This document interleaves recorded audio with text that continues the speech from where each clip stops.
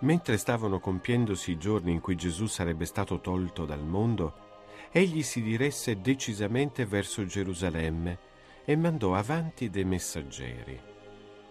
Questi si incamminarono ed entrarono in un villaggio di Samaritani per fare i preparativi per lui. Ma essi non vollero riceverlo, perché era diretto verso Gerusalemme. Quando videro ciò i discepoli Giacomo e Giovanni dissero, Signore, vuoi che diciamo che scenda un fuoco dal cielo e li consumi? Ma Gesù si voltò e li rimproverò e si avviarono verso un altro villaggio. Mentre andavano per la strada un tale gli disse, Ti seguirò dovunque tu vada.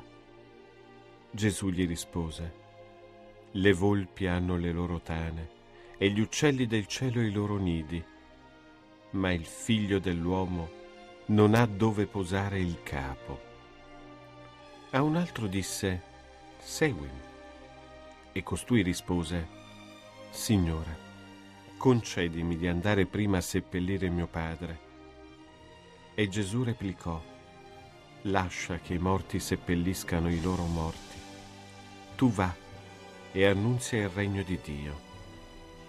Un altro disse, ti seguirò, Signore ma prima lascia che io mi congeda da quelli di casa.